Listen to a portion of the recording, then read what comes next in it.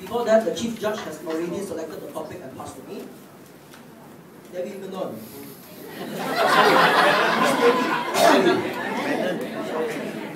Your topic for today will be attitude is a little thing that makes a big difference. Attitude is a little thing that makes a big difference.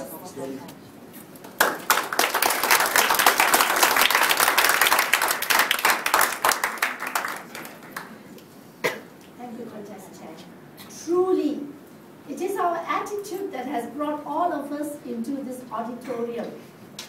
It is my attitude that has made me at this age, advanced age, take part in a table topic contest and come up to the division level.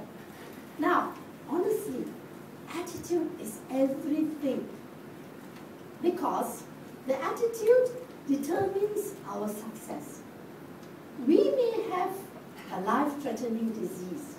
We may even be on the way to the other world. But if we are positive about it, people will still remember us in a bright light. I mean, we are all going in the same direction. We are all going towards the final journey.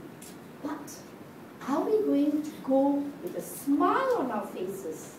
Are we going to go having tried our best to do our best for our fellow men? Or are we going to go with grumbles and negative comments and complaints? So basically, it is attitude that has made us part of the Toastmaster movement.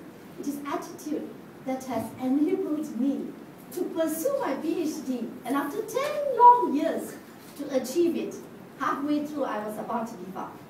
It was attitude that made me accept my retirement, and I'm even more busy after retirement, happily involved in Toastmasters and Sai Baba activities. I'm very happy because I find that life is very beautiful. Life is a beautiful journey. Only if we have a positive attitude. The moment we see life as a very sad, miserable journey, then it becomes that. It's our attitude that determines our happiness. It is our attitude that also determines how happily we die or how happy we are when we leave the world with a smile on our faces.